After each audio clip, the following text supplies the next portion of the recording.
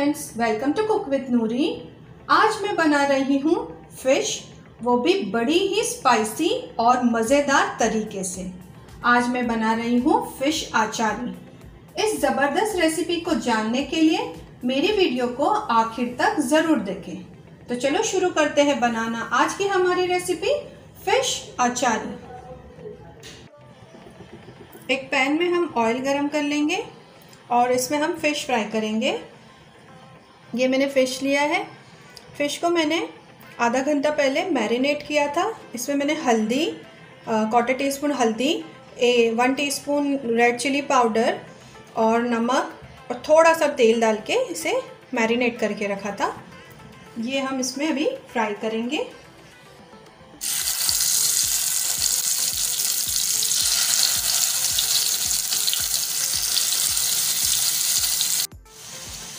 Fish को मैंने हर तरफ़ से अच्छे से फ्राई कर लिया है।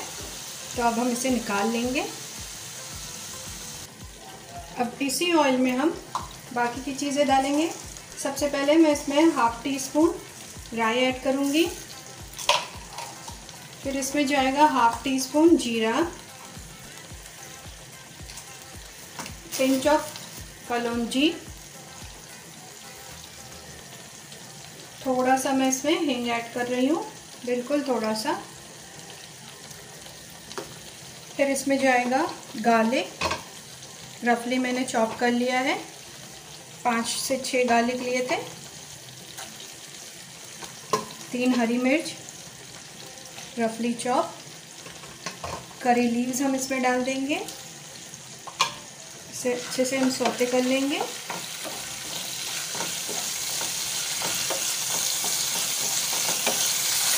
अब हम इसमें डालेंगे एक प्याज। इसे मैंने स्लाइस कर लिया है। इसे भी हम हल्का सा सौते कर लेंगे।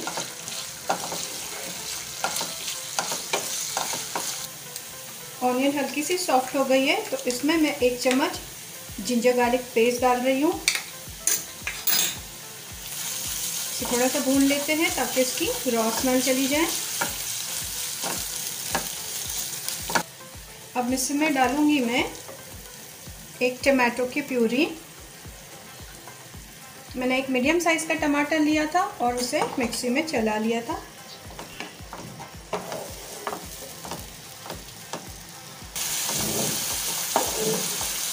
अब इसमें हम डालेंगे दो चम्मच फिटा हुआ दही।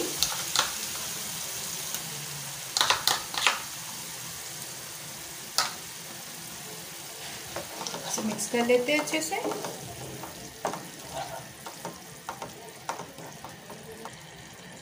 अब हम इसमें तीन सूखी लाल मिर्च डाल देंगे। फिर इसमें जाएगा क्वार्टर टी स्पून हल्दी। वन टीस्पून हम इसमें रेड चिली पाउडर डालेंगे। कश्मीरी रेड चिली पाउडर ये ज़्यादा तीखा नहीं होता है, वो मैं ऐड कर रही हूँ। क्वार्टर टी स्पून मैं इसमें धनिया पाउडर डाल रही हूँ। नमक डाल रही हूँ। नमक हम थोड़ा कम ही रखेंगे क्योंकि मच्छी को मैरिनेट करते वक्त भी हमने उसमें नमक लगाया था। Quarter teaspoon black pepper crush black pepper है ये। और हाफ़ टी स्पून मैं इसमें अमचूर पाउडर ऐड कर रही हूँ।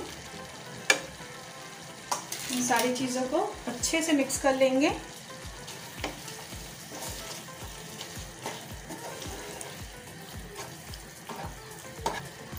अब इसमें क्रश करके हम कसूरी मेथी ऐड करेंगे।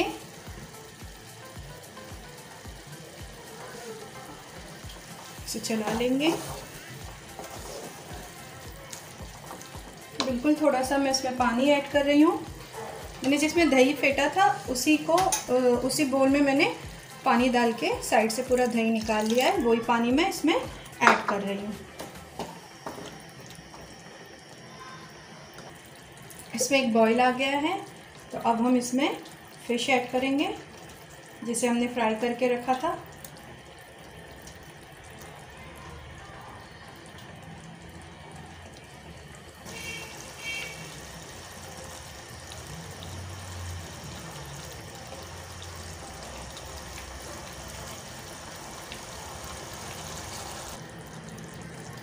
दो तीन मिनट मैंने इसे पका लिया है।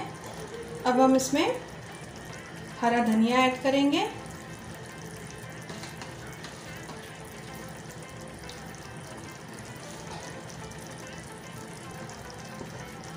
बिल्कुल हल्के से इसे हम मिक्स कर लेंगे।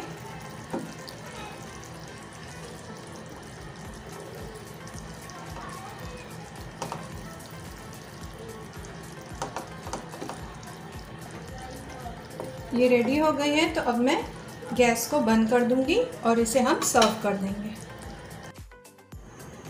फ्रेंड्स, तैयार है हमारी बहुत ही स्पाइसी और टेस्टी अचारी फ़िश इसका टेस्ट आपको एक अगले ही लेवल पर ले जाएगा और जो भी इसे खाएगा, आपकी तारीफ़ करते नहीं थकेगा। तो आप भी इसे ज़रूर ट्राई करें। मेरी रेसिपी अच्छी लगी तो इसे लाइक करें शेयर करें, मेरे चैनल को सब्सक्राइब करें और बेल आइकन दबाना ना भूलें। Thank you